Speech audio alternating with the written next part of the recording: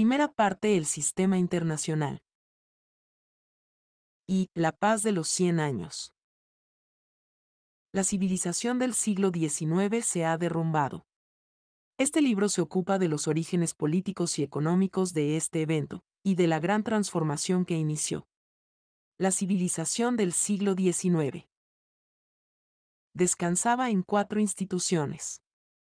La primera era el sistema del balance de poder que durante un siglo impidió el surgimiento de una guerra larga y devastadora entre las grandes potencias. La segunda era el patrón oro internacional que simbolizaba una organización peculiar de la economía mundial. La tercera era el mercado autorregulado que produjo un bienestar material sin precedente. La cuarta era el Estado liberal. Clasificadas en una forma, dos de estas instituciones eran económicas y dos políticas clasificadas en otra forma, dos eran nacionales y dos internacionales. Entre ellas, todas estas instituciones determinaron los lineamientos característicos de la historia de nuestra civilización. Entre estas instituciones, el patrón oro resultó crucial, su caída fue la causa próxima de la catástrofe. En el momento de su caída, la mayoría de las otras habían sido sacrificadas en un esfuerzo vano por salvarlo pero la fuente y la matriz del sistema era el mercado autorregulado. Fue esta innovación la que originó una civilización específica. El patrón oro era solo un intento por extender el sistema de mercado interno al campo internacional. El sistema de la balanza de poder era una estructura erigida sobre el patrón oro y en parte forjada a través del mismo. El propio Estado liberal era una creación del mercado autorregulado. La clave del sistema institucional del siglo XIX se encontraba en las leyes gobernantes de la economía de mercado. Nuestra tesis es que la idea de un mercado autorregulado implicaba una utopía total. Tal institución no podría existir durante largo tiempo sin aniquilar la sustancia humana y natural de la sociedad. Habría destruido físicamente al hombre y transformado su ambiente en un desierto. Inevitablemente, la sociedad tomó medidas para protegerse, pero todas esas medidas afectaban la autorregulación del mercado, desorganizaban la vida industrial, y así ponían en peligro a la sociedad en otro sentido. Fue este dilema el que impuso el desarrollo del sistema de mercado en forma definitiva y finalmente perturbó la organización social basada en él. Tal explicación de una de las crisis más profundas en la historia humana no podrá dejar de parecer demasiado simplificada. Nada podría ser más inepto que el intento de reducir una civilización, su sustancia y carácter, a un número determinado de instituciones, de seleccionar una de ellas como fundamental y sostener la inevitable autodestrucción de la civilización como resultado de alguna calidad técnica de su organización económica.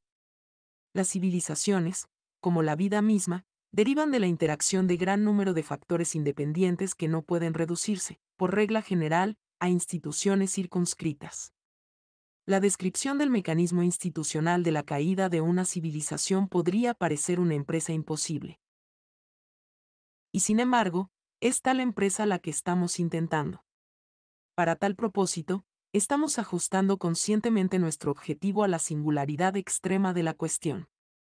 Porque la civilización del siglo XIX era peculiar precisamente por tener su centro en un mecanismo institucional definido. Ninguna explicación será satisfactoria si no toma en cuenta el carácter repentino del cataclismo. Como si las fuerzas del cambio se hubiesen represado durante un siglo, un torrente de eventos se está desatando sobre la humanidad.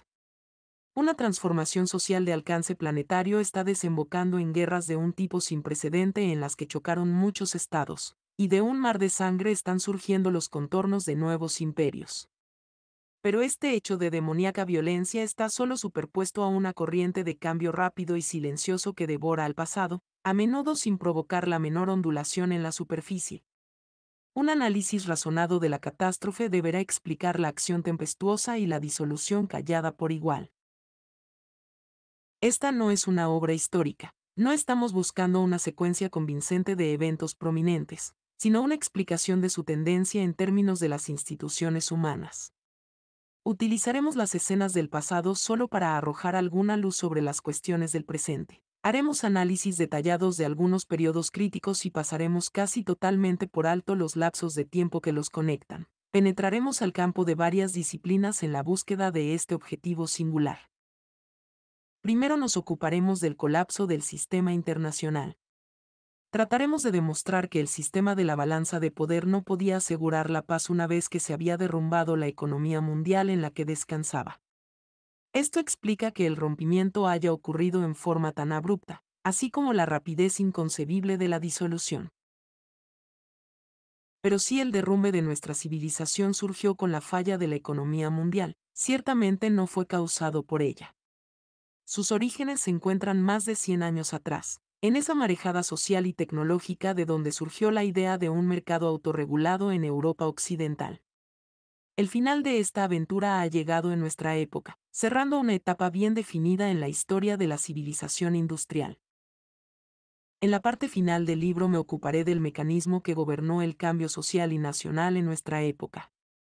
En términos generales, creemos que la condición actual del hombre ha de definirse en términos de los orígenes institucionales de la crisis. El siglo XIX produjo un fenómeno desconocido en los anales de la civilización occidental, a saber, una paz de 100 años, de 1815 a 1914.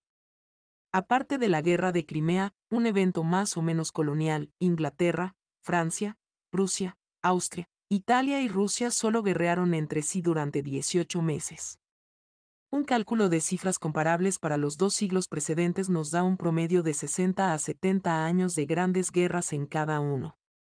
Pero incluso la más feroz de las conflagraciones del siglo XIX, la Guerra Franco-Prusiana de 1870 a 1871, terminó menos de un año después de iniciada, de modo que la nación derrotada pudo pagar una suma sin precedente, por concepto de indemnización, sin perturbación alguna de las monedas involucradas.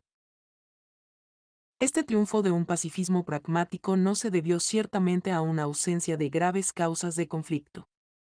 Cambios casi continuos de las condiciones internas y externas de naciones poderosas y grandes imperios acompañaron a este espectáculo idílico. Durante la primera parte del siglo, las guerras civiles, las intervenciones revolucionarias y antirrevolucionarias estaban a la orden del día. En España, 100.000, soldados comandados por el duque de Angulema arrasaron Cádiz. En Hungría, la revolución magiar amenazó con derrotar al propio emperador en una batalla enconada, y finalmente fue reprimida solo por un ejército ruso que luchó en el suelo húngaro. Intervenciones armadas en las Alemanias, en Bélgica, Polonia, Suiza, Dinamarca y Venecia marcaron la omnipresencia de la Santa Alianza. Durante la segunda mitad del siglo se desató la dinámica del progreso. Surgieron o se desmembraron el Imperio Otomano, el Imperio Egipcio y el de Cerille. China fue forzada por los ejércitos invasores a abrir sus puertas a los extranjeros, y el continente de África se repartió en un movimiento gigantesco. Simultáneamente, dos potencias cobraron importancia mundial, los Estados Unidos y Rusia. Alemania e Italia lograron la unidad nacional, Bélgica, Grecia, Rumanía, Bulgaria, Serbia y Hungría asumieron o reasumieron sus lugares como estados soberanos en el mapa de Europa. Una serie casi incesante de guerras abiertas acompañó la marcha de la civilización industrial hacia los dominios de culturas obsoletas o pueblos primitivos. Las conquistas militares de Rusia en Asia Central, las innumerables guerras de Inglaterra en India y en África, las incursiones de Francia en Egipto, Argelia, Túnez, Siria, Madagascar, Indochina y Siam crearon entre las potencias ciertos problemas que, por regla general, solo la fuerza puede resolver. Pero cada uno de estos conflictos estaba localizado, y muchas otras ocasiones de cambio violento se afrontaron por la acción conjunta o se disolvieron por transacciones entre las grandes potencias como quiera que cambiaran los métodos, el resultado era el mismo. Mientras que en la primera parte del siglo se proscribió el constitucionalismo y la Santa Alianza reprimió la libertad en nombre de la paz, durante la otra mitad, y de nuevo en nombre de la paz, se encargaron los banqueros comerciales de imponer las constituciones a déspotas turbulentos.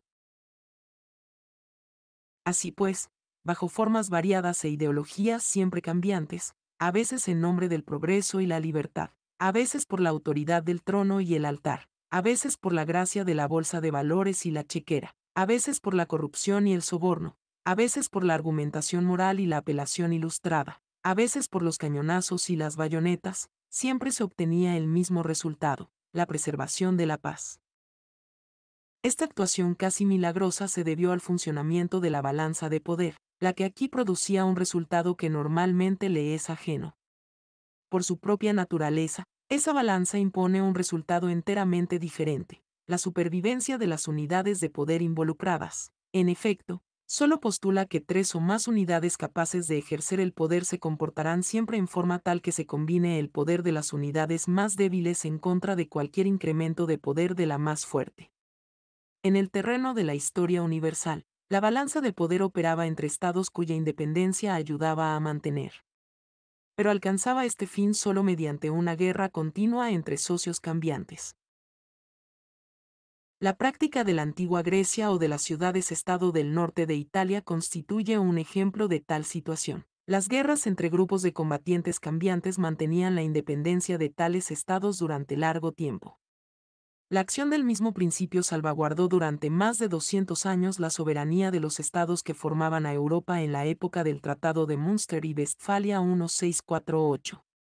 75 años después, cuando los signatarios del Tratado de Utrecht declararon su adhesión formal a este principio, lo incorporaron en un sistema, y así establecieron mutuas garantías de supervivencia para fuertes y débiles por igual a través de la guerra. El hecho de que, en el siglo XIX, el mismo mecanismo condujera a la paz en lugar de la guerra, es un desafío para el historiador. Creo que el factor enteramente nuevo era el surgimiento de un agudo interés por la paz. Tradicionalmente, tal interés se consideraba fuera del alcance del sistema estatal. La paz con sus corolarios de artes y oficios se encontraba entre los meros adornos de la vida. La Iglesia podría rogar por la paz como por una cosecha abundante, pero en el terreno de la acción estatal propugnaría la intervención armada. Los gobiernos subordinaban la paz a la seguridad y la soberanía, es decir, a intentos que solo podrían alcanzarse recurriendo a los medios últimos. Pocas cosas se consideraban tan nocivas para una comunidad como la existencia de un interés de paz organizado en su seno.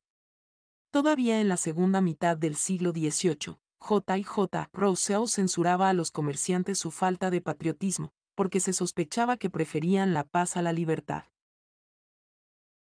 Después de 1815, el cambio es repentino y completo. El reflujo de la Revolución Francesa reforzó la ascendente marea de la Revolución Industrial para establecer los negocios pacíficos como un interés universal. Metternich proclamó que los pueblos de Europa no deseaban la libertad sino la paz. Jens llamó a los patriotas los nuevos bárbaros. La Iglesia y el trono iniciaron la desnacionalización de Europa. Sus argumentos encontraron apoyo en la ferocidad de las recientes formas populares de la guerra y en el incremento enorme del valor de la paz bajo las economías nacientes. Los sostenedores del nuevo interés por la paz eran, como siempre, quienes más se beneficiaban con él, a saber, el cartel de dinastías y feudalismos cuyas posiciones patrimoniales se veían amenazadas por la oleada revolucionaria de patriotismo que estaba barriendo el continente. Así pues, durante cerca de un tercio de siglo, la Santa Alianza proveyó la fuerza coercitiva y el impulso ideológico necesarios para la implantación de una política activa en favor de la paz. Sus ejércitos subían y bajaban por Europa, aplastando a las minorías y reprimiendo a las mayorías desde 1846 hasta cerca de 1871, uno de los cuartos de siglo más confusos y hacinados de la historia europea. 35. La paz estableció con menor seguridad, pues la declinante fuerza de la reacción se enfrentaba a la creciente fuerza del industrialismo. En el cuarto de siglo siguiente a la guerra franco-prusiana, vemos al resucitado interés por la paz representado por esa nueva entidad poderosa, el Concierto de Europa pero los intereses, como las intenciones, siguen siendo inevitablemente platónicos si no se traducen en política por medio de algún instrumento social. Superficialmente, se carecía de tal vehículo de realización. Tanto la Santa Alianza como el Concierto de Europa eran en última instancia meros agrupamientos de estados soberanos independientes, sujetos por tanto a la balanza de poder y su mecanismo de guerra. ¿Cómo se mantuvo entonces la paz? Es cierto que todo sistema de balanza de poder tenderá a impedir que alteren el statu quo las guerras que surgen de la incapacidad de una nación para prever el realineamiento de poderes que resultará de su intento. Entre algunos ejemplos famosos se encuentra la detención hecha por Bismarck de la campaña de prensa librada en contra de Francia, en 1875, a propósito de la intervención rusa y británica. La ayuda de Austria a Francia se daba por descontada. En esta ocasión, el concierto de Europa operó en contra de Alemania, que se encontró aislada. En 1877 a 1878, Alemania no pudo impedir la guerra ruso-turca, pero logró localizarla apoyando la oposición inglesa a un avance ruso hacia los Dardanelos. Alemania e Inglaterra apoyaron a Turquía en contra de Rusia, salvando así la paz. En el Congreso de Berlín se lanzó un plan a largo plazo para la liquidación de las posesiones europeas del Imperio Otomano. Así se evitaron las guerras entre las grandes potencias, a pesar de todos los cambios subsecuentes del statu quo, ya que las partes involucradas podrían estar prácticamente seguras, por adelantado, de las fuerzas que tendrían que afrontar en la batalla. En estos casos, la paz fue un subproducto afortunado del sistema de la balanza de poder. De igual modo, a veces se evitaban las guerras eliminando deliberadamente sus causas, cuando solo estaba involucrada la suerte de potencias pequeñas. Se controlaba a las naciones pequeñas y se impedía que perturbaran el statu quo en cualquier forma que pudiera precipitar la guerra. La invasión holandesa a Bélgica, en 1831, condujo eventualmente a la neutralización de ese país. En 1855, Noruega fue neutralizada. En 1867, Luxemburgo fue vendido por Holanda a Francia. Alemania protestó y Luxemburgo fue neutralizado. En 1856 se declaró que la integridad del Imperio Otomano era esencial para el equilibrio de Europa, y el Concierto de Europa se esforzó por mantener ese imperio. Después de 1878, cuando su desintegración se consideró esencial para ese equilibrio, su desmembramiento se realizó en una forma similarmente ordenada, aunque en ambos casos la decisión significaba la vida o la muerte para varios pueblos pequeños. Entre 1852 y 1863 Dinamarca, entre 1851 y 1856 las Alemanias, amenazaron con perturbar la balanza. En ambas ocasiones, los pequeños estados fueron forzados por las grandes potencias a conformarse. En estos casos, la libertad de acción que les ofrecía el sistema fue usada por las potencias para obtener un interés común, que resultaba ser el de la paz pero media una distancia enorme entre el impedimento ocasional de las guerras por una aclaración oportuna de la situación de poder o por la coerción de pequeños estados y el hecho masivo de la paz de 100 años.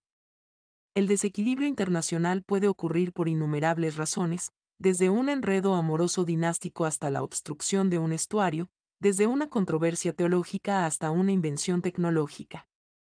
El mero crecimiento de la riqueza y la población, o eventualmente su declinación, tendrán que poner en movimiento a las fuerzas políticas, y la balanza externa reflejará invariablemente la balanza interna.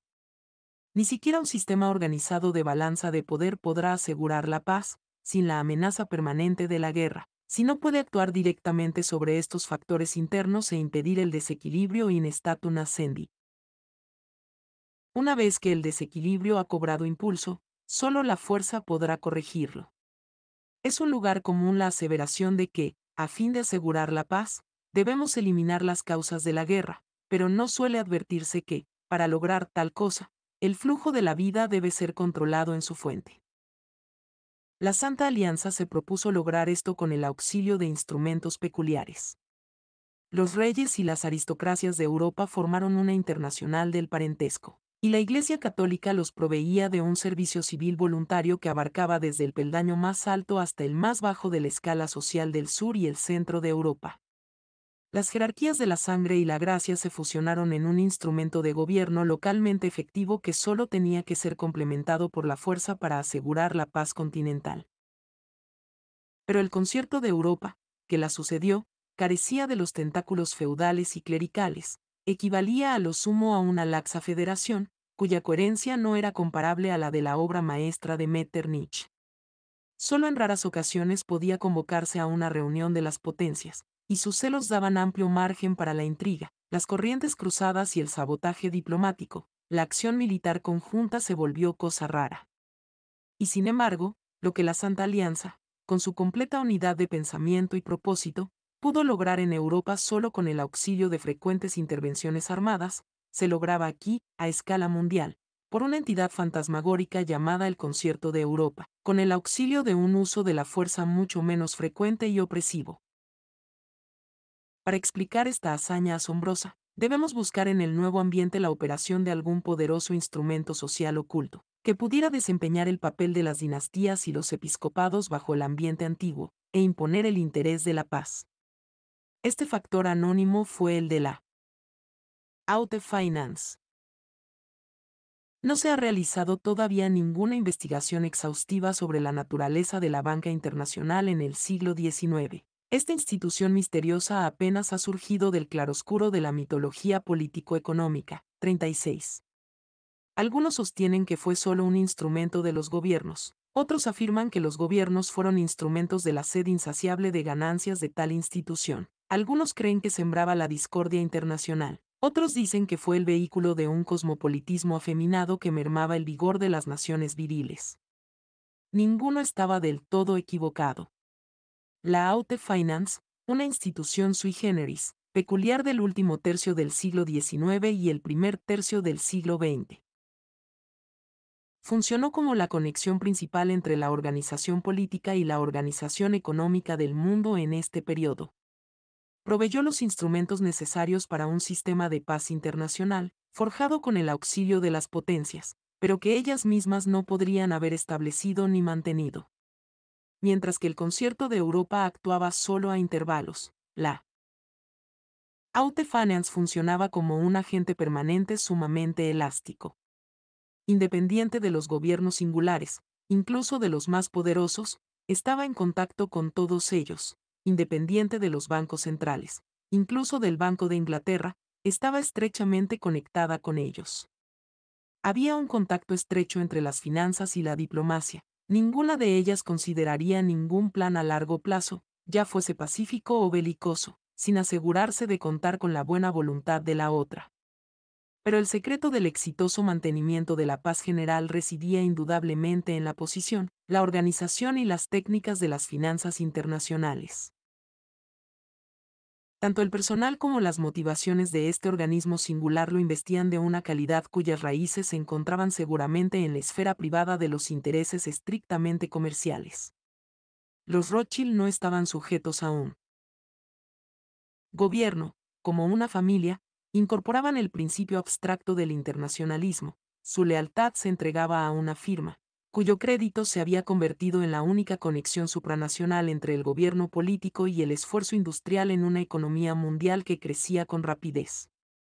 En última instancia, su independencia derivaba de las necesidades de la época que exigían un agente soberano que contara con la confianza de los estadistas nacionales y de los inversionistas internacionales. Era a esta necesidad vital que la extraterritorialidad metafísica de una dinastía de banqueros judíos domiciliada en las capitales de Europa proveía una solución casi perfecta. Tales banqueros no tenían nada de pacifistas. Habían hecho su fortuna en el financiamiento de las guerras. Eran impermeables a toda consideración moral, no tenían ninguna objeción contra cualquier número de guerras menores, breves o localizadas pero sus negocios se perjudicarían si una guerra general entre las grandes potencias interfiriera con los fundamentos monetarios del sistema. Por la lógica de los hechos, les correspondía el mantenimiento de los requisitos de la paz general en medio de la transformación revolucionaria a la que estaban sujetos los pueblos del planeta. Por lo que se refiere a la organización, la Aute Finance era el núcleo de una de las instituciones más complejas que ha producido la historia humana aunque era transitoria, se comparaba en universalidad, en la profusión de formas e instrumentos, solo con el total de las actividades humanas en los campos de la industria y el comercio del que se convirtió en una especie de espejo y contrapartida. Además del Centro Internacional, la Aute Finance. Propiamente dicha, había cerca de media docena de centros nacionales que giraban alrededor de sus bancos de emisión y sus bolsas de valores. De igual modo, la banca internacional no se restringía al financiamiento de los gobiernos, y a sus aventuras en la guerra y en la paz. Abarcaba la inversión extranjera en la industria, los servicios públicos y los bancos, así como los préstamos a largo plazo a corporaciones públicas y privadas en el exterior. Las finanzas nacionales eran también un microcosmos. Solo Inglaterra tenía medio centenar de tipos de bancos diferentes. La organización bancaria de Francia y de Alemania era igualmente específica, y en cada uno de estos países variaban las prácticas de la tesorería y sus relaciones con el financiamiento privado de la manera más sorprendente, y a menudo muy sutil en los detalles. El mercado de dinero se ocupaba de una multitud de documentos comerciales, aceptaciones extranjeras, documentos puramente financieros, así como del dinero en efectivo y de otras facilidades de los corredores de bolsa. El conjunto estaba integrado por una infinita variedad de grupos y personalidades nacionales, cada uno de ellos con su tipo peculiar de prestigio y posición, autoridad y lealtad, sus activos de dinero y contactos, de patronazgo y aureola social. La Haute Finance no estaba diseñada como un instrumento de la paz, esta función le llegó por accidente, como dirían los historiadores, mientras que el sociólogo preferiría hablar aquí de la ley de la disponibilidad. La motivación de la Haute Finance era la ganancia. Para lograrla, había necesidad de mantenerse en contacto con los gobiernos cuya finalidad era el poder y la conquista. En esta etapa podríamos pasar por alto la distinción existente entre el poder político y el poder económico, entre los propósitos económicos y políticos de los gobiernos. En efecto, los estados nacionales de este periodo se caracterizaban por el hecho de que tal distinción tenía escasa realidad, cualesquiera que fuesen sus objetivos. Los gobiernos trataban de alcanzarlos mediante el uso y el incremento del poder nacional. Por su parte, la organización y el personal de la Haute Finance eran internacionales, pero no por ello enteramente independientes de la organización nacional. Porque la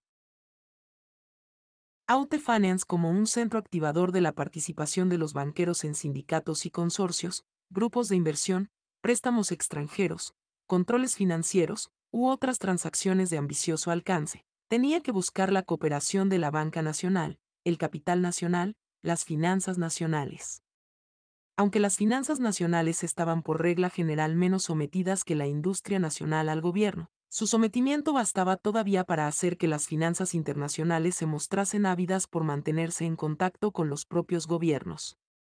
Pero en la medida en que, en virtud de su posición y personal, su fortuna privada y sus afiliaciones, era efectivamente independiente de cualquier gobierno singular, la Haute Finance podía servir a un nuevo interés, sin ningún órgano específico propio, a cuyo servicio no se encontraba ninguna otra institución, y que era sin embargo de vital importancia para la comunidad, el mantenimiento de la paz. No la paz a toda costa, ni siquiera la paz al precio de cualquier ingrediente de independencia, soberanía, gloria investida o aspiraciones futuras de las potencias involucradas, pero de todos modos la paz, si era posible alcanzarla sin tal sacrificio. De otro modo no. El poder tenía precedencia sobre el beneficio por estrechamente que se interpenetraran sus campos, era en última instancia la guerra la que imponía su ley a los negocios. Por ejemplo, Francia y Alemania eran enemigas desde 1870. Esto no excluía las transacciones que no crearan compromisos entre ellas. Pero sigue siendo cierto que en ningún momento, después de 1870, se eliminó de la Bolsa de París la prohibición oficial, aunque tácita, contra los valores alemanes. Francia simplemente optó por no correr el riesgo de soportar en su contra la fuerza del capital de préstamo. Pero sigue siendo cierto que en ningún momento, después de 1870, se eliminó de la Bolsa de París la prohibición oficial, aunque tácita, contra los valores alemanes. Francia simplemente optó por no correr el riesgo de soportar en su contra la fuerza del capital de préstamo. 37. Austria también era sospechosa. En la crisis marroquí de 1905 a 1906, la prohibición se extendió a Hungría. Los círculos financieros de París rogaron que se admitieran los valores húngaros, pero los círculos industriales apoyaron al gobierno en su firme oposición a toda concesión a un posible antagonista militar. La rivalidad político-diplomática continuó sin mengua los gobiernos vetaban toda medida que pudiera incrementar el potencial de avance del enemigo. Superficialmente más de una vez parecía que el conflicto se hubiese reducido, pero los círculos internos sabían que solo se había desplazado a puntos más profundamente ocultos aún bajo la superficie amistosa. O veamos las ambiciones de Alemania en el Oriente. Aquí también se entremezclaban la política y las finanzas, pero la política era suprema.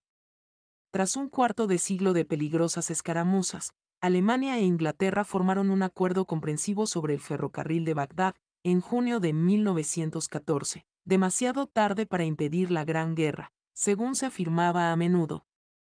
Otros sostenían que, por el contrario, la firma del acuerdo probaba concluyentemente que la guerra entre Inglaterra y Alemania no había sido causada por un choque del expansionismo económico. Los hechos no avalan ninguna de estas dos concepciones. En efecto, el acuerdo dejaba sin decisión la controversia principal. La línea ferroviaria alemana no podía extenderse todavía más allá de Basora sin el consentimiento del gobierno británico, y las zonas económicas del tratado no podrían dejar de conducir a una colisión frontal en el futuro. Mientras tanto, las potencias continuarían preparándose para el día más cercano aún de lo que ellas creían. 38. Las finanzas internacionales debían enfrentarse a las ambiciones en conflicto y a las intrigas de las potencias grandes y pequeñas. Sus planes se veían frustrados por las maniobras diplomáticas. Sus inversiones a largo plazo se veían en peligro. Sus esfuerzos constructivos se veían obstruidos por el sabotaje político y la obstrucción a trasmano. Las organizaciones bancarias nacionales, sin las cuales no podían funcionar las finanzas internacionales, actuaban a menudo como los cómplices de sus respectivos gobiernos y ningún plan estaba seguro si no aseguraba por adelantado el botín de cada participante. Sin embargo, las finanzas del poder no eran a menudo la víctima sino el beneficiario de la diplomacia del dólar, que proveía los huesos de acero al guante de terciopelo de las finanzas. Porque el éxito de los negocios involucraba el uso despiadado de la fuerza en contra de los países más débiles, el soborno a gran escala de las administraciones atrasadas, y el uso de todos los medios clandestinos para la obtención de fines familiares a la selva colonial y semicolonial. Y sin embargo, la determinación funcional hacía que a la Aute Finance le correspondiera evitar las guerras generales. La gran mayoría de los tenedores de valores gubernamentales, así como de otros inversionistas y negociantes, tenía que estar entre los primeros perdedores en tales guerras, sobre todo si se veían afectadas las monedas la influencia ejercida por la Aute Finance sobre las potencias era consistentemente favorable a la paz europea. Y esta influencia era efectiva en la medida en que los propios gobiernos dependían de su cooperación en más de una dirección. En consecuencia, no había jamás un momento en que el interés de la paz no estuviese representado en los concilios del concierto de Europa. Si sumamos a esto el creciente interés por la paz que existía en cada nación donde se había arraigado el hábito de la inversión, empezaremos a entender que la temible innovación de una paz armada de docenas de estados prácticamente movilizados pudiera pender sobre Europa desde 1871 hasta 1914 sin estallar, en una conflagración total. Las finanzas, estas eran uno de sus canales de influencia, actuaban como un moderador poderoso en los consejos y las políticas de varios estados soberanos más pequeños. Los préstamos, y la renovación de los préstamos, dependían del crédito, y el crédito dependía del buen comportamiento. Dado que bajo el gobierno constitucional, los gobiernos inconstitucionales eran severamente rechazados. El comportamiento se refleja en el presupuesto y el valor externo de la moneda no puede separarse de la apreciación del presupuesto. Los gobiernos deudores debían vigilar sus tasas de cambio con cuidado y evitar las políticas que pudieran afectar la solidez de la posición presupuestaria. Esta máxima útil se convirtió en una sólida regla de conducta una vez que un país hubiese adoptado el patrón oro, que limitaba al mínimo las fluctuaciones permisibles. El patrón oro y el constitucionalismo eran los instrumentos que hacían oír la voz de la City de Londres en muchos países pequeños que habían adoptado estos símbolos de adhesión al nuevo orden internacional. La Pax británica se imponía a veces por la ominosa presencia de las cañoneras, pero más frecuentemente prevalecía por el estirón oportuno a un hilo de la red monetaria internacional. La influencia de la Haute Finance se aseguraba también a través de su administración no oficial de las finanzas de vastas regiones semicoloniales del mundo, incluidos los decadentes imperios del Islam en la zona altamente inflamable del cercano Oriente y el norte de África. Era aquí que el trabajo rutinario de los financieros tocaba a los factores sutiles que se encontraban detrás del orden interno, y proveía una administración de facto. Para las regiones problemáticas donde la paz era más vulnerable. Era así como podían llenarse a menudo los numerosos requisitos de las inversiones de capital a largo plazo en estas áreas, frente a obstáculos casi insuperables. La épica de la construcción de ferrocarriles en los Balcanes, en Anatolia, Siria, Persia, Egipto, Marruecos y China es una historia de persistencia y de giros pasmosos reminiscentes de una hazaña similar en el continente americano. Pero el principal peligro que acechaba a los capitalistas de Europa no era el fracaso tecnológico o financiero, sino la guerra, y no una guerra entre países pequeños, que pudiera ser aislada fácilmente, ni una guerra de una gran potencia contra un país pequeño, un suceso frecuente y a menudo conveniente, sino una guerra general entre las grandes potencias. Europa no era un continente vacío sino el hogar de muchos millones de pueblos antiguos y nuevos, cada nuevo ferrocarril debía abrirse camino a través de fronteras de variable solidez, algunas de las cuales podrían verse fatalmente debilitadas por el contacto, mientras que otras se reforzaban vitalmente. Solo el puño de hierro de las finanzas sobre los gobiernos postrados de regiones atrasadas podría evitar la catástrofe. Cuando Turquía dejó de cumplir con sus obligaciones financieras en 1875, estallaron de inmediato conflagraciones militares las que duraron desde 1876 hasta 1878, cuando se firmó el Tratado de Berlín. La paz se mantuvo luego durante 36 años. Esa paz sorprendente se implantó por el decreto de Muharrem de 1881, que creó la deuda otomana en Constantinopla. Los representantes de la Aute Finance se encargaron de la administración del grueso de las finanzas turcas. En numerosos casos elaboraron compromisos entre las potencias, en otros casos, impidieron que Turquía creara sus propias dificultades, en otros más, actuaron simplemente como los agentes políticos de las potencias. En todos los casos sirvieron a los intereses monetarios de los acreedores y, de ser posible, a los intereses de los capitalistas que trataban de obtener beneficios en ese país. Esta tarea se complicó enormemente por el hecho de que la Comisión de la Deuda no era un organismo representativo de los acreedores privados, sino un órgano del derecho público de Europa donde la Aute Finance estaba representada solo de manera no oficial. Pero era precisamente por esa capacidad anfibia que podía cerrar la brecha existente entre la organización política y la organización económica de la época. El comercio se había ligado a la paz. En el pasado, la organización del comercio había sido militar y guerrera, era un adjunto del pirata, el ladrón, la caravana armada, el cazador y trampero, el comerciante espadachín, los burgueses armados de los pueblos, los aventureros y exploradores, los plantadores y conquistadores, los cazadores de hombres y los comerciantes de esclavos, los ejércitos coloniales de las compañías certificadas. Ahora, todo esto se había olvidado. El comercio dependía de un sistema monetario internacional que no podía funcionar en una guerra general. Demandaba la paz y las grandes potencias se esforzaban por mantenerla. Pero el sistema de la balanza de poder, como hemos visto, no podía asegurar por sí solo la paz. Esto lo hacían las finanzas internacionales, cuya existencia misma incorporaba el principio de la nueva dependencia del comercio frente a la paz.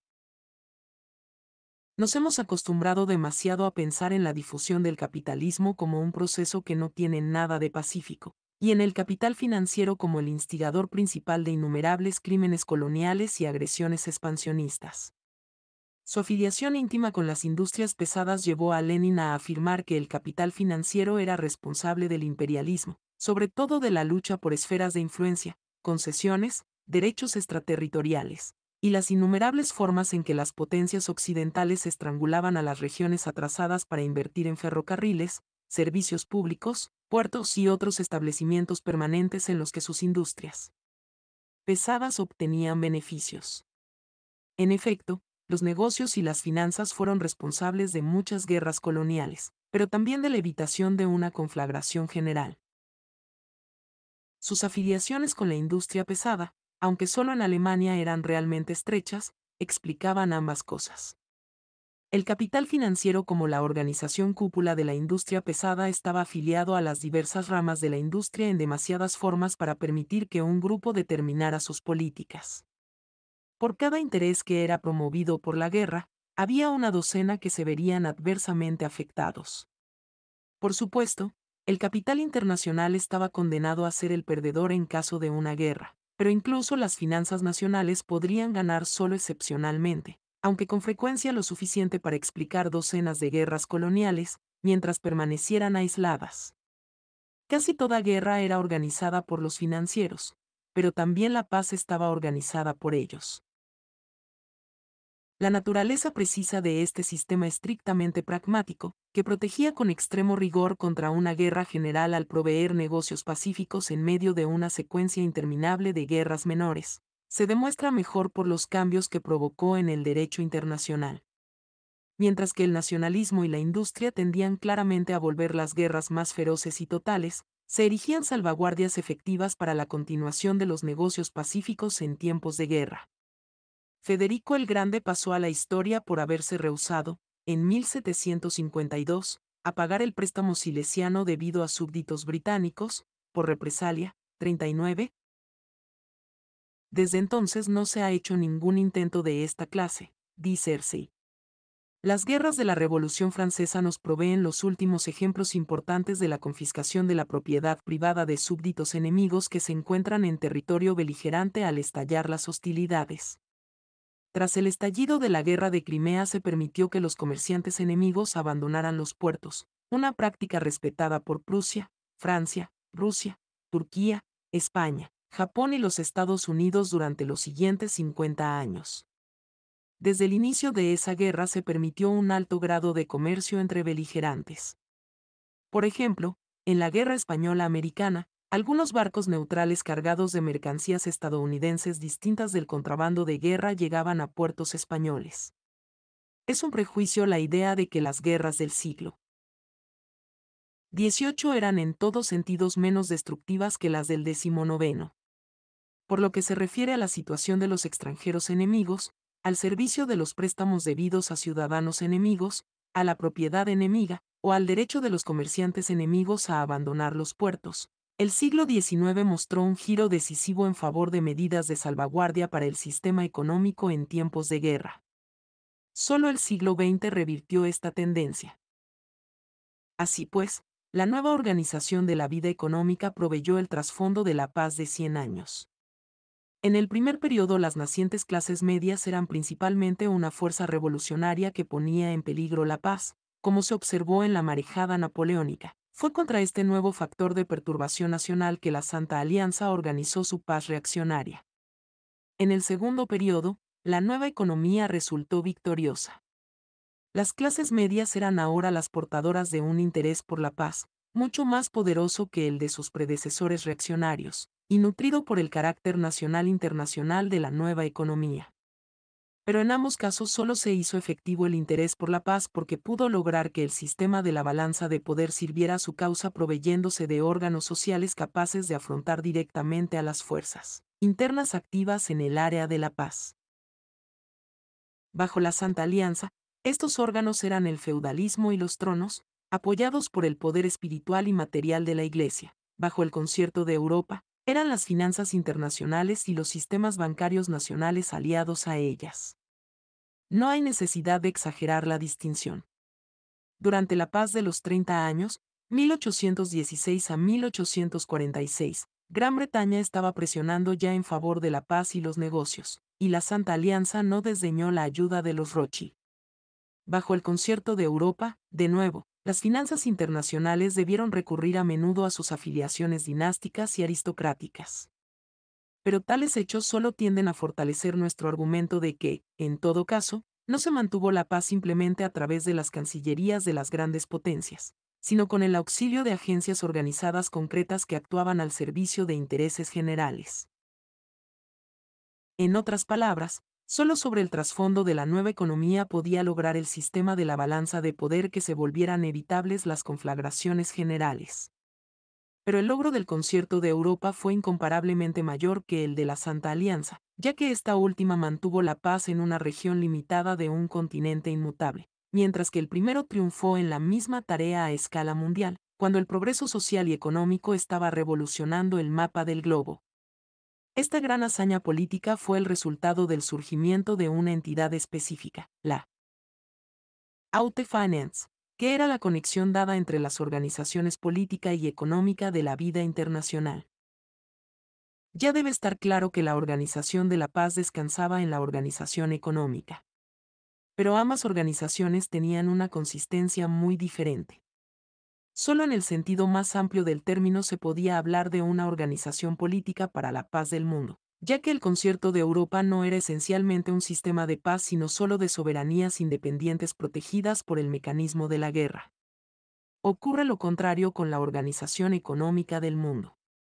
A menos que aceptemos la práctica poco reflexiva de restringir el término, organización, a los organismos de dirección centralizada que actúan a través de sus propios funcionarios, debemos conceder que nada podría ser más definido que los principios universalmente aceptados en los que descansaba esta organización y nada podría ser más concreto que sus elementos fácticos.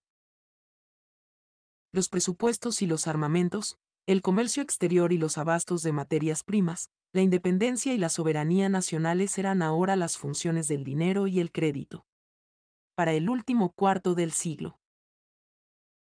19. Los precios mundiales de las mercancías eran la realidad central en la vida de millones de campesinos continentales. Las repercusiones del mercado de dinero de Londres eran anotadas diariamente por los negociantes de todo el mundo, y los gobiernos discutían los planes para el futuro a la luz de la situación existente en los mercados mundiales del capital.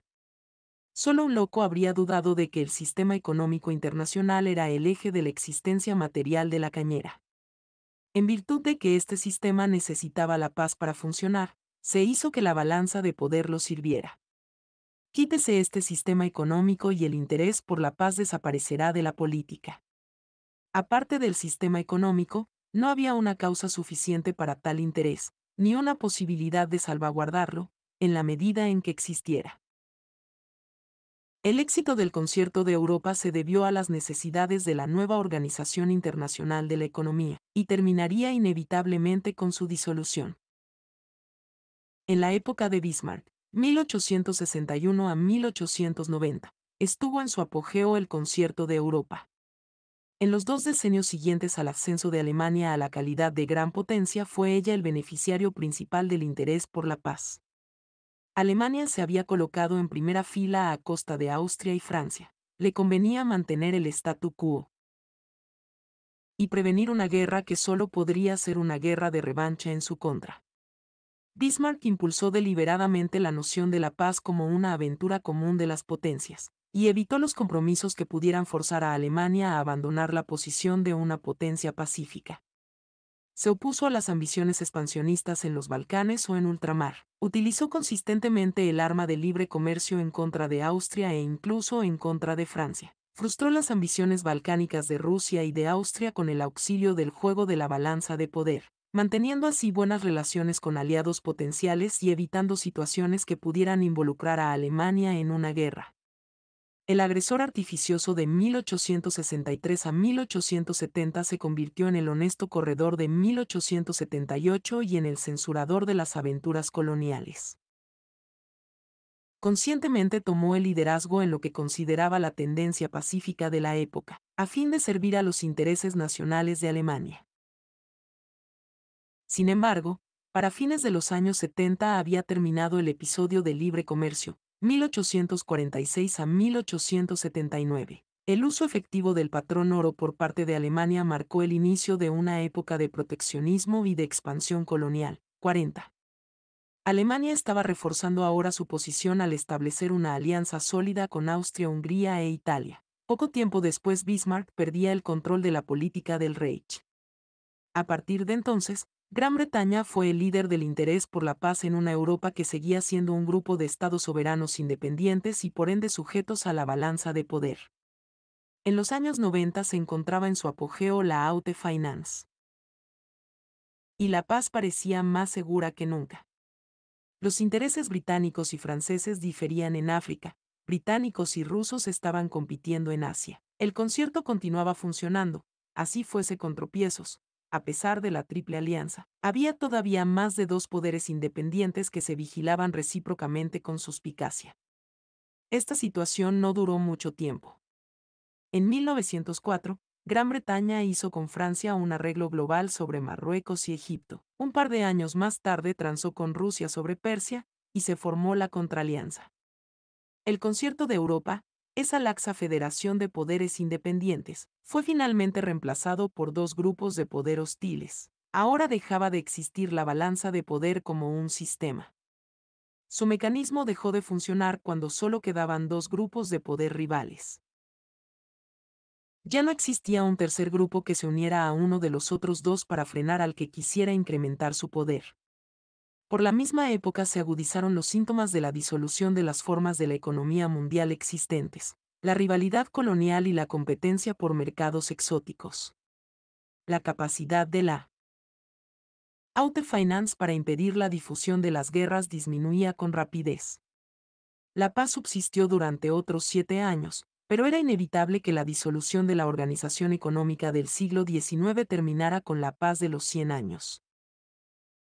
En tal virtud, la verdadera naturaleza de la organización económica muy artificial en la que se basaba la paz cobra extrema importancia para el historiador. 2. Los años 20 conservadores, los 30 revolucionarios. El derrumbe del patrón oro internacional fue el lazo invisible entre la desintegración de la economía mundial desde principios del siglo y la transformación de toda una civilización en los años 30. Si no se advierte la importancia vital de este factor, no podrán evaluarse correctamente el mecanismo que empujó a Europa hacia la catástrofe ni las circunstancias que explicaban el hecho asombroso de que las formas y los contenidos de una civilización dependieran de cimientos tan precarios. La verdadera naturaleza del sistema internacional en el que estábamos viviendo solo se advirtió cuando se derrumbó. Casi nadie entendía la función política del sistema monetario internacional, en consecuencia, el carácter extremadamente repentino de la transformación tomó al mundo completamente por sorpresa.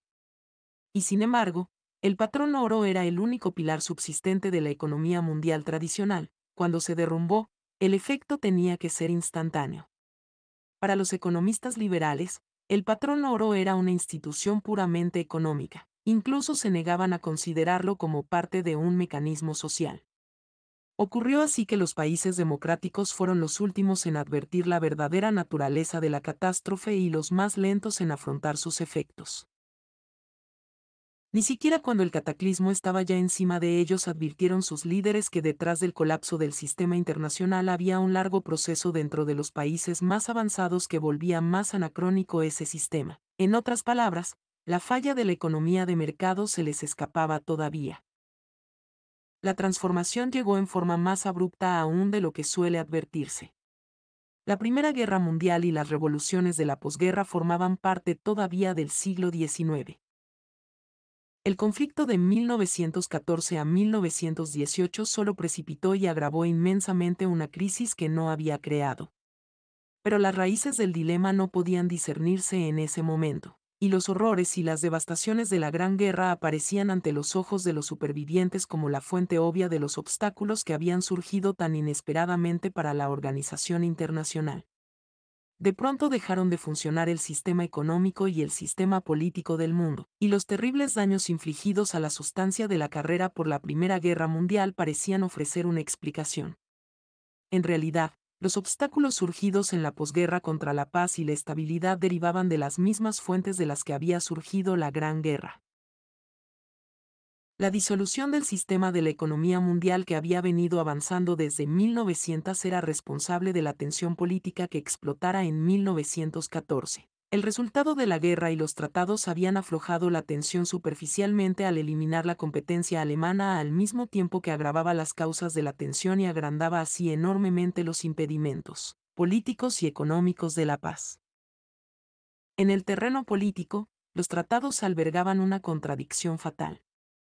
Mediante el desarme unilateral de las naciones derrotadas, impedían toda reconstrucción del sistema de la balanza de poder, ya que el poder es un requisito indispensable de tal sistema. En vano buscaba Ginebra la restauración de tal sistema en un concierto de Europa agrandado y mejorado, llamado la Liga de las Naciones. En vano se establecieron facilidades para la consulta y la acción conjunta en la Carta de la Liga, porque ahora faltaba la condición esencial de las unidades de poder independientes. La Liga no pudo establecerse jamás en realidad, jamás aplicaron el artículo 16 sobre el cumplimiento forzoso de los tratados, ni el artículo 19 sobre su revisión pacífica. La única solución viable del candente problema de la paz, la restauración del sistema de la balanza de poder, se volvía así completamente inalcanzable, tanto así que el verdadero objetivo de los estadistas más constructivos de los años 20 no era comprendido siquiera por el público, el que se mantenía en un estado de confusión casi indescriptible. Ante el hecho aterrador del desarme de un grupo de naciones, mientras que el otro grupo permanecía armado, una situación que impedía todo paso constructivo hacia la organización de la paz prevalecía la actitud emocional de que la Liga era en alguna forma misteriosa el anuncio de una época de paz que solo necesitaba del frecuente aliento verbal para volverse permanente. En los Estados Unidos prevalecía la idea de que si este país se hubiese unido a la Liga, las cosas habrían sido muy diferentes. No podía aducirse mejor prueba que esta para explicar la falta de entendimiento de las deficiencias orgánicas del llamado sistema de la posguerra, porque lo cierto es que Europa carecía ahora de todo sistema político. Un statu quo como este solo puede durar mientras persista el agotamiento físico de las partes. No es extraño así que un retorno al sistema del siglo XIX pareciera la única salida.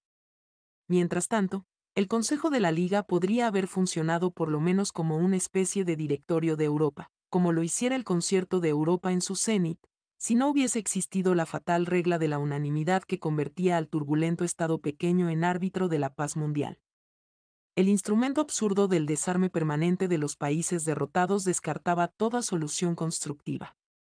La única alternativa a esta situación desastrosa era el establecimiento de un orden internacional dotado de un poder organizado que trascendiera la soberanía nacional.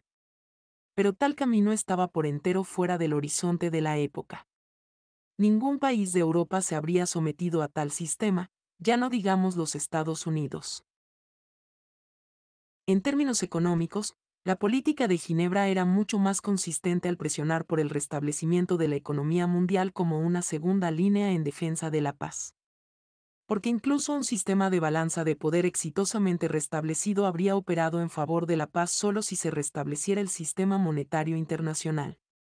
En ausencia de tasas de cambio estables y de la libertad de comercio, los gobiernos de las diversas naciones considerarían la paz como un interés menor, por el que solo lucharían en la medida en que no interfiriera con ninguno de sus grandes intereses, como lo habían hecho en el pasado.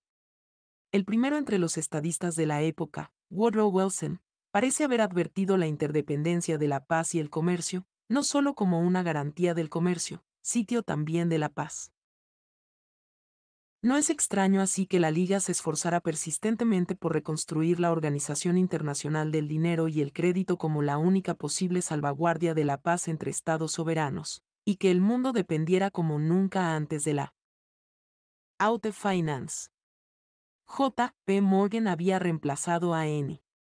M. Rothschild como el demiurgo de un siglo XIX rejuvenecido. De acuerdo con las normas de ese siglo, el primer decenio de la posguerra aparecía como una época revolucionaria. A la luz de nuestra propia experiencia reciente, ocurría precisamente lo contrario. La intención de ese decenio era profundamente conservadora y expresaba la convicción casi universal de que solo el restablecimiento del sistema anterior a 1914, esta vez sobre cimientos sólidos, podría restablecer la paz y la prosperidad. En efecto, la transformación de los años 30 surgió del fracaso de este esfuerzo por retornar al pasado. Por espectaculares que fuesen las revoluciones y contrarrevoluciones del decenio de la posguerra, representaban meras reacciones mecánicas ante la derrota militar, a lo sumo, una repetición del familiar drama liberal y constitucionalista de la civilización occidental en el escenario de Europa central y oriental. Fue solo en los años 30 que entraron a la trama de la historia occidental algunos elementos enteramente nuevos. Con excepción de Rusia, Las revueltas en Europa Central y Oriental durante el periodo de 1917 a 1920 eran, a pesar de su escenario, solo procedimientos indirectos para reproducir los regímenes que habían sucumbido en el campo de batalla. Cuando se disolvió el humo contrarrevolucionario, se vio que los sistemas políticos de Budapest, Viena y Berlín no eran muy diferentes de lo que habían sido antes de la guerra. Esto se aplicaba también, en términos generales, a Finlandia, los estados bálticos, Polonia, Austria, Hungría, Bulgaria, y aún Italia y Alemania, hasta mediados de los años 20. En algunos países se logró un gran avance en materia de libertad nacional y de reforma agraria, algo que había sido común en Europa Occidental desde 1789. En este sentido, Rusia no era una excepción. La tendencia de la época era simplemente el establecimiento, o restablecimiento, del sistema comúnmente asociado con los ideales de la Revolución inglesa, la estadounidense y la francesa.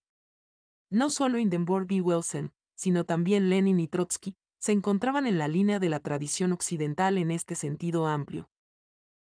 A principios de los años 30 surgió abruptamente el cambio.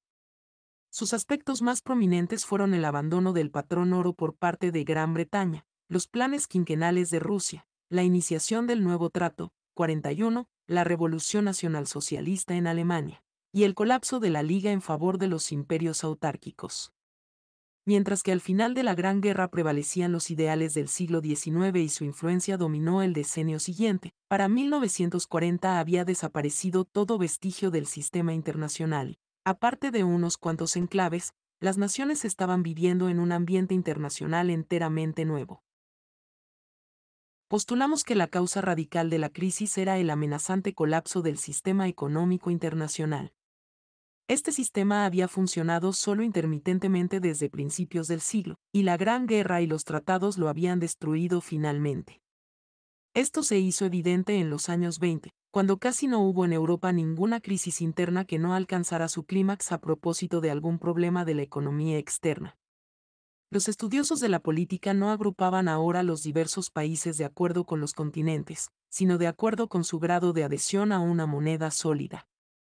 Rusia había asombrado al mundo por la destrucción del rublo, cuyo valor se había reducido a nada por el simple medio de la inflación. Alemania repitió esta hazaña desesperada para cumplir aparentemente con el tratado. La expropiación de la clase rentista, que vino inmediatamente después, echó los cimientos de la revolución nazi. El prestigio de Ginebra descansaba en su éxito al ayudar a Austria y a Hungría a restablecer sus monedas y Viena se convirtió en la meca de los economistas liberales gracias a una operación brillantemente exitosa con la corona austríaca, a la que desgraciadamente no sobrevivió el paciente.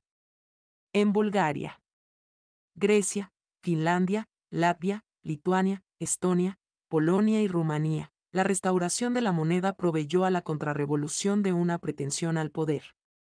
En Bélgica, Francia e Inglaterra, la izquierda fue arrojada del gobierno en nombre de las sanas normas monetarias. Una secuencia casi ininterrumpida de crisis monetarias conectó a los indigentes Balcanes con los ricos Estados Unidos mediante la banda elástica de un sistema de crédito internacional que transmitía la tensión de las monedas imperfectamente restauradas, primero de Europa Oriental a Europa Occidental, luego de Europa Occidental a los Estados Unidos. En última instancia, también los Estados Unidos se vieron devorados por los efectos de la estabilización prematura de las monedas europeas. Se había iniciado el derrumbe final. El primer choque ocurrió dentro de las esferas nacionales. Algunas monedas, tales como las de Rusia, Alemania, Austria y Hungría, desaparecieron en el curso de un año. Aparte de la tasa de cambio sin precedente en el valor de las monedas, existía la circunstancia de que este cambio ocurría en una economía completamente monetizada. Se introdujo a la sociedad humana un proceso celular, cuyos efectos escapaban a la experiencia. En lo interno y lo externo, la declinación de las monedas anunciaba la perturbación. Las naciones se encontraban separadas de sus vecinos, como si mediara un abismo, al mismo tiempo que los diversos estratos de la población se veían afectados en formas enteramente diferentes y a menudo opuestas. La clase media intelectual estaba literalmente empobrecida, los tiburones financieros amasaban repulsivas fortunas. Había entrado en escena un factor de incalculable fuerza integradora y desintegradora. La fuga de capital era un no boom. Ni en 1848 ni en 1866, ni siquiera en 1871 se registró tal evento. Y sin embargo, era patente su papel vital en el derrocamiento de los gobiernos liberales de Francia en 1925, y de nuevo en 1938, así como en el desarrollo de un movimiento fascista en Alemania en 1930. La moneda se había convertido en el pivote de la política nacional. Bajo una economía monetaria moderna, nadie podía dejar de experimentar a diario la contracción o expansión de la vara financiera, las poblaciones se hicieron conscientes de la moneda. El efecto de la inflación sobre el ingreso real era descontado por adelantado por las masas. Hombres y mujeres de todas partes parecían considerar al dinero estable como la necesidad suprema de la sociedad humana. Pero tal conciencia era inseparable del reconocimiento de que los fundamentos de la moneda podrían depender de factores políticos ubicados fuera de las fronteras nacionales. Así pues, el Bouleversement que sacudió la confianza en la estabilidad inherente del medio monetario destruyó también el ingenuo concepto de la soberanía financiera en una economía interdependiente. En adelante, las crisis internas asociadas a la moneda tenderían a provocar graves controversias externas. La creencia en el patrón oro era la fe de la época. Para algunos era un credo ingenuo, para otros un credo crítico o un credo satánico que implicaba la aceptación de la carne y el rechazo del espíritu pero la creencia era la misma, a saber, que los billetes tienen valor porque representan el oro. Por una vez, no importaba que el oro mismo tuviera valor porque incorpore trabajo, como sostenían los socialistas, o porque sea útil y escaso, como afirmaba la doctrina ortodoxa. La guerra entre el cielo y el infierno pasaba por alto la cuestión monetaria, uniendo milagrosamente a capitalistas y socialistas. Allí donde Ricardo y Marx eran uno solo, el siglo XIX. No dudó. Bismarck y Lasalle, John Stuart Mill y Henry George, Philip Snowden y Calvin Coolidge, Mises y Trotsky aceptaban por igual la fe. Karl Marx había hecho grandes esfuerzos para demostrar que los utópicos billetes de trabajo de Probon, que habrían de reemplazar al circulante, se basaban en un autoengaño, y Das Capital implicaba la teoría del dinero como mercancía, en su forma ricardiana. Sokolnikov, el bolchevique ruso, fue el primer estadista de la posguerra en restablecer el valor de la moneda de su país en términos del oro, y Yerdin, el socialdemócrata alemán, puso en peligro a su partido con su defensa tenaz de los sanos principios monetarios. Otto Bauer, el socialdemócrata austríaco, aceptaba los principios monetarios que se encontraban detrás del restablecimiento de la corona intentado por su enconado oponente Seipel. Philip Snowden, el socialista inglés, se volvió contra los laboristas cuando creyó que la libra esterlina no estaba segura en sus manos, y el Duce hizo grabar en piedra el valor de la lira en oro, al nivel de 90, y juró morir en su defensa. Sobre este punto, sería difícil encontrar alguna divergencia entre las manifestaciones de Gober y de Lenin, Churchill y Mussolini. En efecto, el carácter esencial del patrón oro para el funcionamiento del sistema económico internacional de la época era el único lema común a hombres de todas las naciones y todas las clases, denominaciones religiosas y filosofías sociales. Era esta la realidad invisible a la que podía aferrarse la voluntad de vivir, cuando la humanidad se abrazaba a la tarea de restablecer su existencia que se desmoronaba. El esfuerzo, fallido, era el más comprensivo que jamás hubiese visto el mundo. La estabilización de las monedas destruidas de Austria, Hungría, Bulgaria, Finlandia, Rumanía o Grecia no era solo un acto de fe de parte de estos países pequeños y débiles, que literalmente se morían de hambre para alcanzar las playas doradas, sino que también ponía severamente a prueba a sus poderosos y ricos patrocinadores, los victoriosos de Europa Occidental. Mientras fluctuaran las monedas de los victoriosos la tensión no se haría evidente. Los victoriosos continuaban prestando en el exterior como antes de la guerra y así ayudaban a mantener las economías de las naciones derrotadas. Pero cuando Gran Bretaña y Francia volvieron al oro, empezó a sentirse la carga sobre sus tasas de cambio estabilizadas.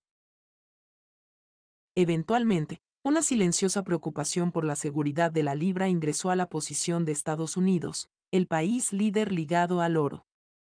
Esta preocupación que cruzaba el Atlántico colocaba inesperadamente a Estados Unidos en la zona de peligro. Este punto parece técnico, pero debe entenderse claramente. El apoyo estadounidense, otorgado a la libra esterlina en 1927, implicaba bajas tasas de interés en Nueva York, a fin de impedir grandes movimientos de capital desde Londres hasta Nueva York. En consecuencia, la Junta de la Reserva Federal prometió al Banco de Inglaterra que mantendría baja su tasa. Pero poco tiempo después eran los propios Estados Unidos quienes necesitaban tasas elevadas porque su propio sistema de precios empezó a inflarse peligrosamente. Este hecho se oscurecía por la existencia de un nivel de precios estable, mantenido a pesar de la tremenda disminución de los costos. Cuando la oscilación habitual del péndulo, tras siete años de prosperidad, provocó en 1929 la depresión pospuesta durante tanto tiempo. Las cosas se agravaron inmensamente por el estado existente de criptoinflación. Los deudores, enflaquecidos por la deflación, pudieron ver el colapso de los acreedores inflados. Era un portento. Por un gesto instintivo de liberación los Estados Unidos se separaron del oro en 1933, y se desvaneció el último vestigio de la economía mundial tradicional aunque casi nadie discernía el significado más profundo del evento en ese momento, la historia revirtió su tendencia casi de inmediato. Durante más de un decenio, la restauración del patrón oro había sido el símbolo de la solidaridad mundial. Se reunieron innumerables conferencias, desde Bruselas hasta Spa y Ginebra, desde Londres hasta Locarno y Lausana, a fin de alcanzar las condiciones políticas necesarias para la estabilidad de las monedas. La propia Liga de las Naciones había sido complementada por la Oficina Internacional del Trabajo, en parte para igualar las condiciones de la competencia entre las naciones, de modo que pudiera liberalizarse el comercio sin poner en peligro los niveles de vida.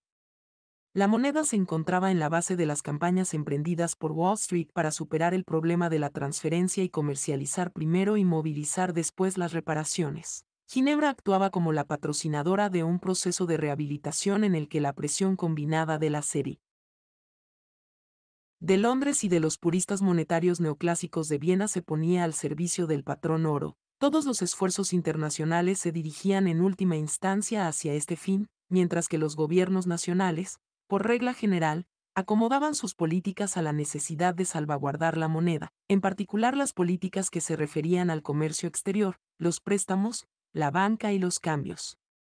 Aunque todos convenían en que la estabilidad de las monedas dependía en última instancia de la liberación del comercio, todos sabían, a excepción de los dogmáticos partidarios del libre comercio, que debían tomarse de inmediato ciertas medidas que restringirían inevitablemente el comercio exterior y los pagos externos.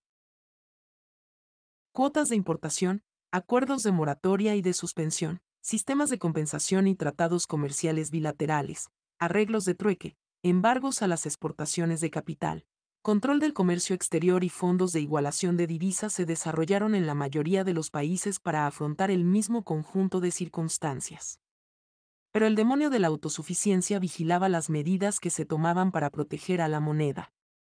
Mientras que la intención era la liberación del comercio, el efecto era su estrangulamiento. En lugar de ganar acceso a los mercados del mundo, los gobiernos estaban por sus propios actos separando a sus países de todo nexo internacional, y se requerían sacrificios cada vez mayores para conservar siquiera un mínimo de flujo comercial.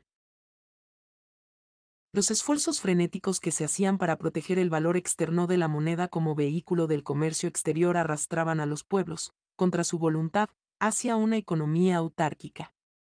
Todo el arsenal de las medidas restrictivas, que formaban un alejamiento radical de la economía tradicional, era en realidad el resultado de propósitos conservadores de libre comercio. Esa tendencia se revirtió abruptamente con la caída final del patrón oro. Los sacrificios que se habían hecho para restablecerlo deberían hacerse ahora una vez más para que pudiéramos vivir sin él. Las mismas instituciones diseñadas para restringir la vida y el comercio a fin de mantener un sistema de monedas estable se usaban ahora para ajustar la vida industrial a la ausencia permanente de tal sistema. Quizá por esa razón sobrevivió la estructura mecánica y tecnológica de la industria moderna al impacto del colapso del patrón oro. Porque en la lucha por retenerlo, el mundo se había venido preparando inconscientemente para la clase de esfuerzos y el tipo de organizaciones necesarios para adaptarse a su pérdida. Pero la intención era ahora la contraria. En los países que más habían sufrido durante la larga lucha, por lo inalcanzable, se liberaron fuerzas titánicas de rebote. Ni la Liga de las Naciones ni la Auto Finance Internacional sobrevivieron al patrón oro, con su desaparición salieron de la política el interés organizado por la paz de la Liga y sus instrumentos de imposición principales, los Rothschild y los Morgan. El rompimiento de la hebra dorada fue la señal para una revolución mundial. Pero el derrumbe del patrón oro apenas fijaba la fecha de un evento demasiado grande para ser causado por él. Nada menos que una destrucción completa de las instituciones nacionales de la sociedad del siglo XIX acompañó a la crisis en gran parte del mundo, y en todas partes se cambiaron y reformaron estas instituciones hasta el punto de quedar casi irreconocibles. El Estado liberal fue reemplazado en muchos países por dictaduras totalitarias, y la institución central del siglo, la producción basada en mercados libres, se vio superada por nuevas formas de la economía mientras que algunas naciones grandes forjaron de nuevo el molde mismo de su pensamiento y se ensarzaron en guerras para esclavizar al mundo en nombre de concepciones nuevas de la naturaleza del universo. Otras naciones mayores aún corrieron a la defensa de la libertad que adquirió en sus manos un significado igualmente trascendental. El derrumbe del sistema internacional desató la transformación, pero ciertamente no podría haber explicado su profundidad y contenido. Aunque podríamos saber por qué ocurrió repentinamente lo que ocurrió, todavía podríamos ignorar por qué ocurrió en primer lugar. No fue por accidente que la transformación se vio acompañada de guerras a escala sin precedente. La historia se ligó al cambio social, la suerte de las naciones se ligó a su papel en una transformación institucional. Tal simbiosis no es ninguna excepción en la historia, aunque los grupos nacionales y las instituciones sociales tienen sus propios orígenes, tienden a conectarse en su lucha por la supervivencia. Un ejemplo famoso de tal simbiosis conectó al capitalismo con las naciones costeras del Atlántico. La revolución comercial, tan estrechamente conectada con el ascenso del capitalismo, se convirtió en el vehículo del poder para Portugal, España, Holanda, Francia, Inglaterra y los Estados Unidos, cada uno de los cuales se beneficiaba de las oportunidades ofrecidas por ese movimiento amplio y profundo, mientras que el capitalismo mismo se difundía por el planeta a través de estas potencias en ascenso. La ley se aplicaba también en reversa. Una nación podría verse negativamente afectada en su lucha por la supervivencia por el hecho de que sus instituciones, o algunas de ellas, pertenecieran a un tipo que casualmente estaba declinando. El patrón oro en la Segunda Guerra Mundial era un ejemplo de tal equipamiento anticuado. Por otra parte, los países que por razones propias se opongan al statu quo se apresurarán a descubrir las deficiencias del orden institucional existente y a adelantarse en la creación de instituciones mejor adaptadas a sus intereses. Tales grupos están empujando a lo que se cae y sosteniendo lo que, bajo su propio impulso, se está moviendo a su favor. Podría parecer entonces que los grupos en cuestión hubiesen originado el proceso del cambio social, cuando en efecto eran solo sus beneficiarios, y podrían incluso pervertir la tendencia para ponerla al servicio de sus propios objetivos. Por ejemplo, Alemania, una vez derrotada, estaba en posición de reconocer las fallas ocultas del orden del siglo XIX, y de emplear este conocimiento para acelerar la destrucción de tal orden. Una especie de siniestra superioridad intelectual benefició a sus estadistas que en los años 30 se aplicaron a esta tarea de destrucción, la que a menudo se extendía hasta el desarrollo de nuevos métodos de financiamiento, comercio, guerra y organización social, en el curso de su esfuerzo por hacer que las cosas marcharan de acuerdo con sus políticas. Pero es claro que estos problemas no eran creados por los gobiernos que los utilizaban en su provecho. Tales problemas eran reales, objetivamente dados y permanecerán entre nosotros independientemente de la suerte que corran los países individuales. De nuevo es evidente la distinción existente entre la Primera y la Segunda Guerras Mundiales. La primera era todavía del tipo decimonónico, un simple conflicto de potencias, desatado por el derrumbe del sistema de balanza de poder, la última formaba parte ya de la marejada mundial. Esto debiera permitirnos separar las interesantes historias nacionales del periodo de la transformación social que estaba en marcha.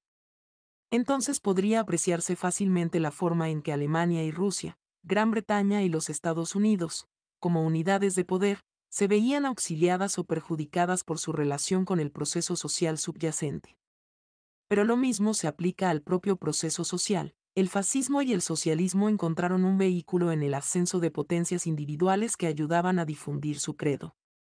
Alemania y Rusia se convirtieron respectivamente en los representantes del fascismo y del socialismo en el mundo.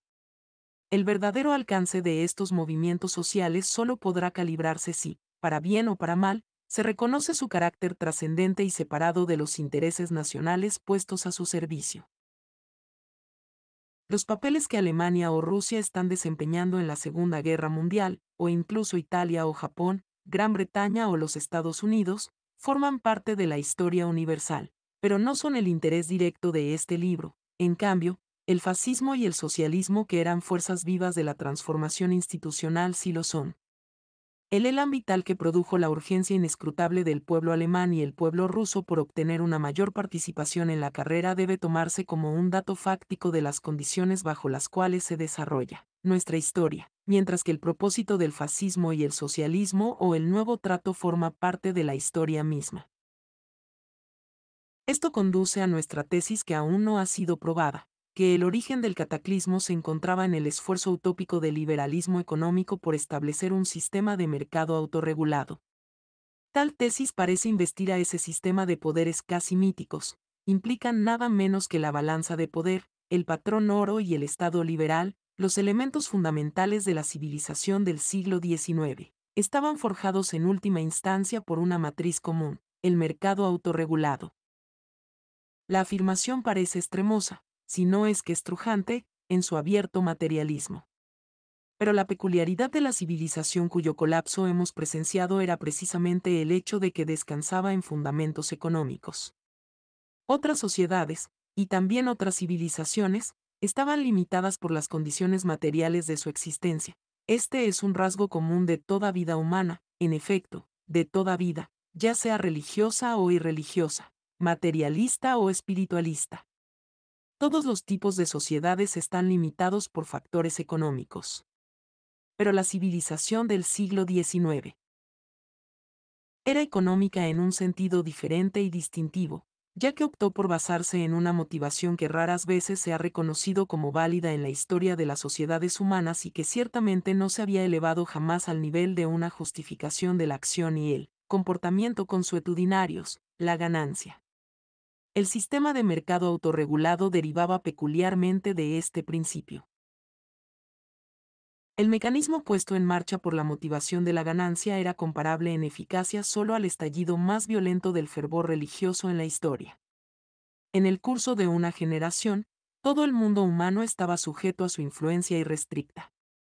Como todos sabemos, este mecanismo maduró en Inglaterra, tras la Revolución Industrial, durante la primera mitad del siglo XIX. El mecanismo llegó al continente ya a los Estados Unidos cerca de 50 años después. Eventualmente en Inglaterra, en el continente e incluso en los Estados Unidos, alternativas similares convirtieron la práctica cotidiana en un patrón cuyos rasgos principales eran idénticos en todos los países de la civilización occidental. Debemos buscar el origen del cataclismo en el ascenso y la declinación de la economía de mercado. La sociedad de mercado nació en Inglaterra, pero fue en el continente donde sus deficiencias engendraron las complicaciones más trágicas. A fin de comprender el fascismo alemán, debemos volver a la Inglaterra ricardiana. No puede exagerarse al afirmar que el siglo XIX fue el siglo de Inglaterra. La revolución industrial fue un evento inglés. La economía de mercado, el libre comercio y el patrón oro fueron inventos ingleses. Estas instituciones se derrumbaron por todas partes en los años 20. En Alemania, Italia o Austria, el evento fue simplemente más político y más dramático. Pero cualesquiera que hayan sido el escenario y la temperatura de los episodios finales, los factores de largo plazo que destruyeron esa civilización deben estudiarse en la cuna de la revolución industrial, Inglaterra.